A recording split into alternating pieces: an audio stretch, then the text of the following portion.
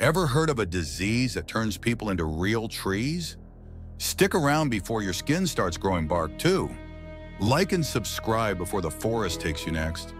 Epidermodysplasia verruciformis. Try saying that five times fast. It's a rare genetic disorder that makes your skin grow wart-like lesions from HPV infection. Except these look like tree bark. Some people, especially in rural countries, were once called tree men by locals. Imagine trying to eat a burger when your hands are literally branches. Doctors found it's caused by a faulty immune system that can't handle certain HPV strains. It's super rare, like one in a million rare. You're more likely to win the lottery, twice. There's no full cure yet, but surgeries and antivirals can help.